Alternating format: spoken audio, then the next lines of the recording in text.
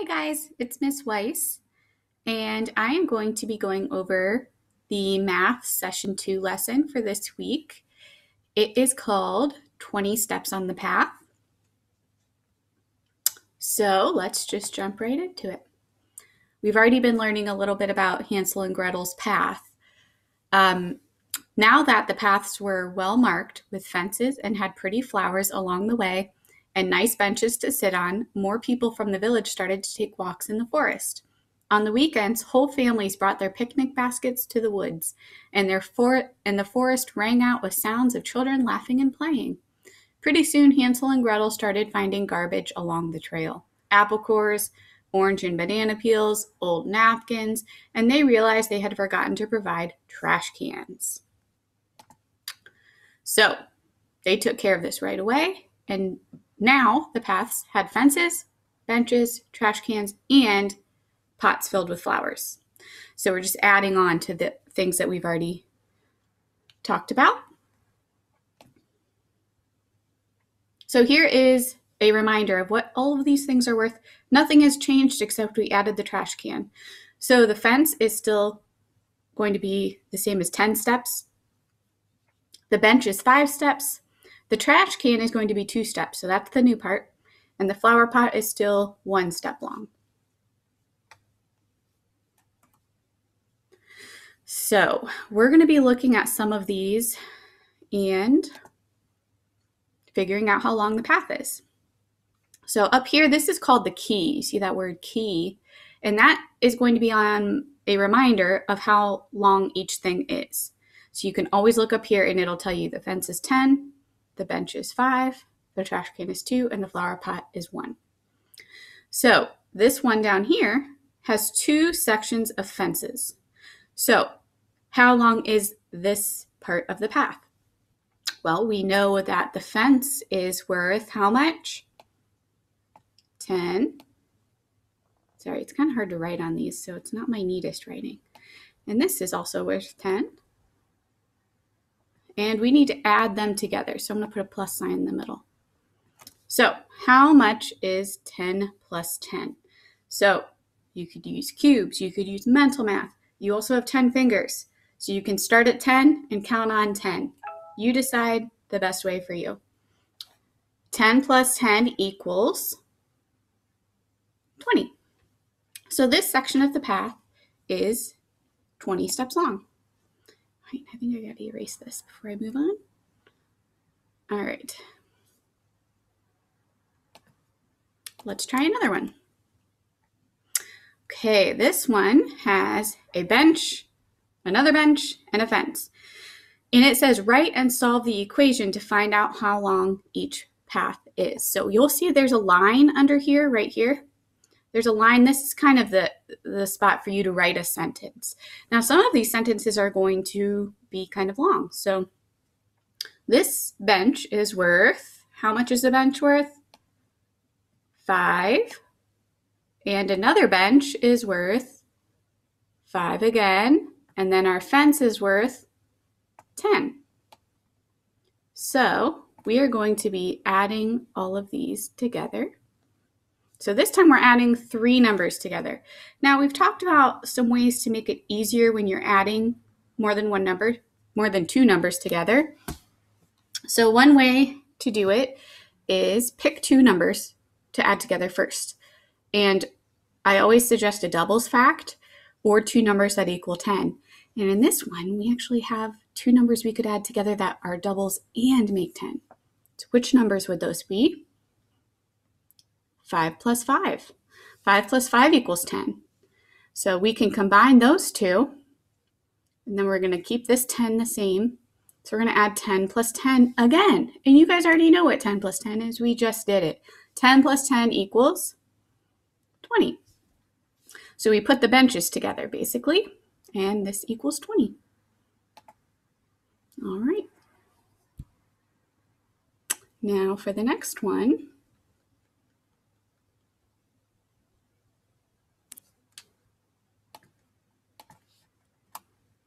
All right, so this one has a fence, a bench, and a bench.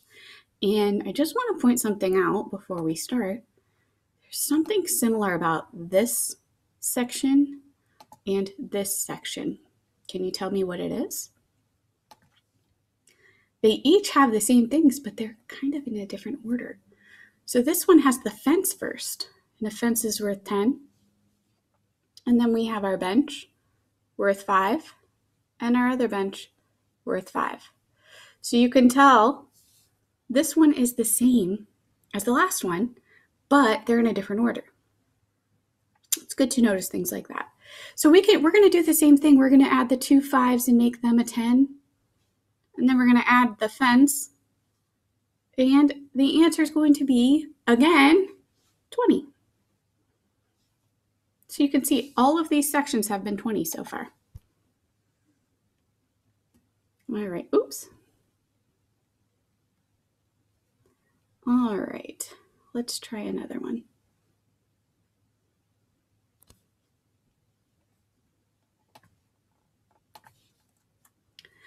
Ooh, this one has a lot more, so let's talk about it. We have a fence, three flower pots, a trash can, and a bench. A little bit of everything. So to start, we know that the fence is going to be how many steps long? 10. Now, this next part, it has three flower pots. Remember, each flower pot is worth one. One, one, one. So you could say 10 plus 1 plus 1 plus 1. Or if you want to make it easier, what other number could you do? Could you put them all together? What would that number be? 1 plus 1 plus 1 is 3. So we could just write a 3. Then our trash can is our new one that's worth two steps, and our bench is worth five steps. So we have four numbers in this one. So we really have to think about what could we put together that would make this easier.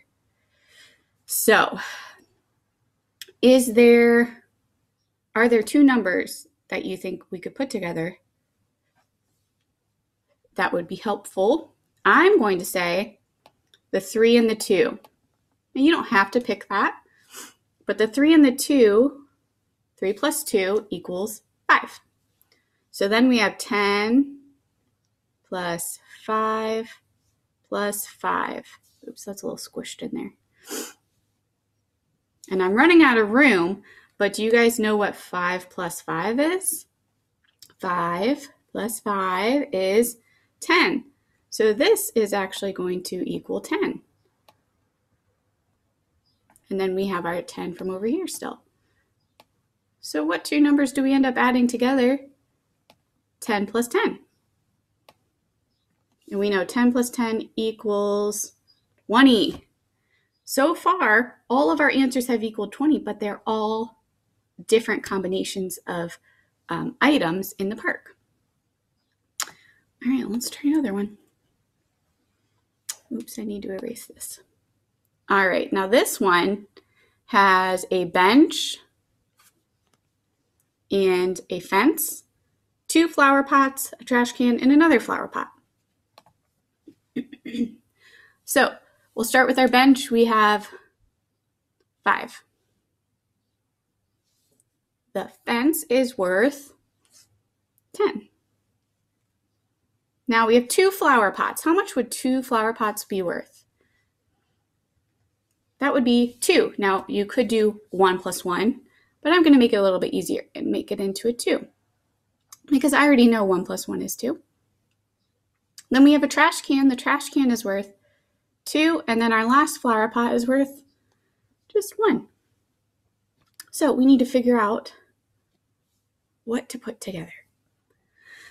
Now, we already have a 10 here in the middle, so I, I usually like to leave the 10s alone. 10s are easy to add with, so let's leave that alone.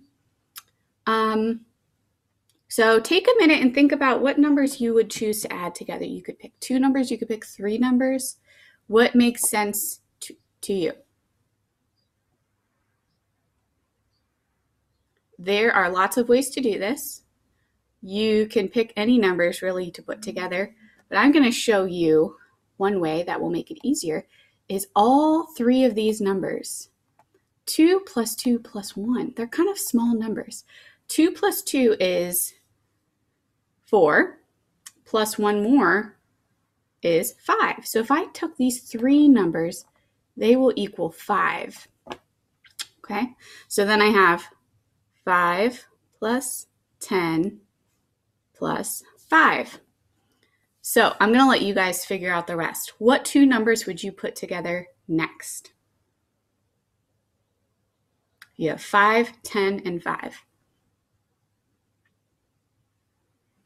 So you could put 5 plus 10 together, and 5 plus 10 would equal, let's see, let's count on 10 and count on 5 more 10, 11, 12, 13, 14, 15. So this would equal 15 plus 5 more, and you could count on 5 again 15, 16, 17, 18, 19, 20. So you could do it that way. Or you could pick this 5 and this 5 and add them together. What's 5 plus 5? 5 plus 5 is 10. And then you could add this 10. 10 plus 10 is 20. We've been doing a lot of 10 plus 10s today. So it's up to you which numbers you want to put first, put together first. If you do it a different way, you should still be getting the right answer. I just like to point out some ways that are a little bit easier. And as you get older, like me, you use those kind of strategies all the time. Okay, so there are two papers that go along with this lesson. There's a worksheet, which is page 61, and then there's also a home connection. And the home connection is two pages. It's usually front and back, so I had to put them in separately.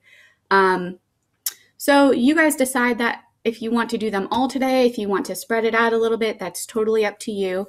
I'm going to show you in Schoology um, if you go into the week, oops, yeah, the week three and four math lessons, um, we are on math session two. So if you click right here, this page, lesson two, 20 steps on a path, page 61, this is the page that goes along with this lesson. And it's very similar to what we did on the last lesson, but now there's 20 steps instead of 10 steps. So there are groups of 20 down here.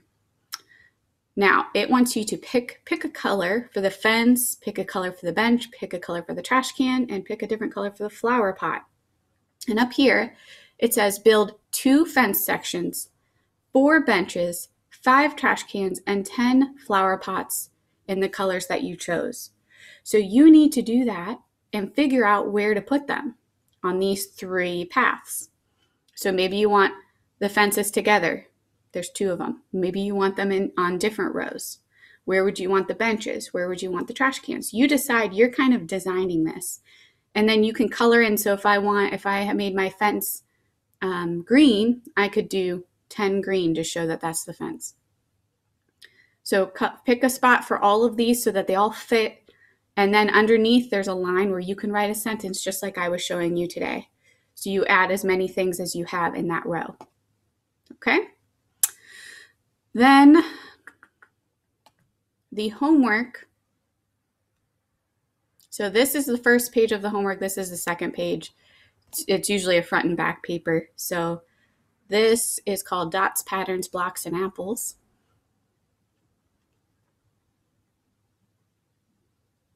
Okay, so this one um, you're going to be adding up and down, which we've talked about.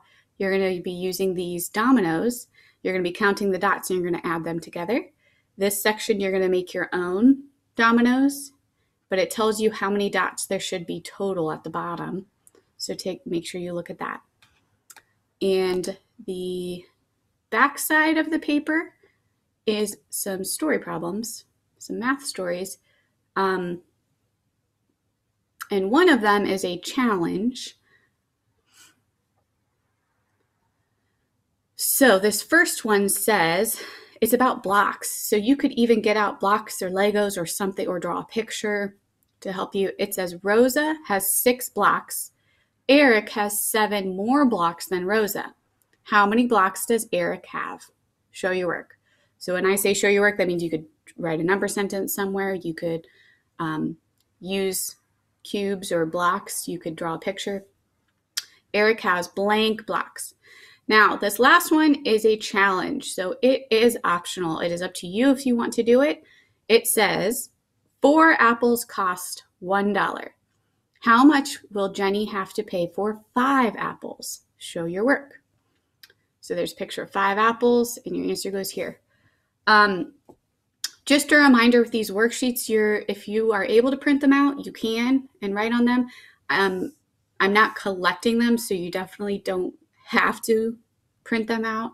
If you would like to kind of do it on a different paper or just use cubes and talk to someone about what you think the answers are, that's fine. Do what works for you guys, okay? It's totally up to you. All right, that is today's math lesson. So I will see you soon for this math session three.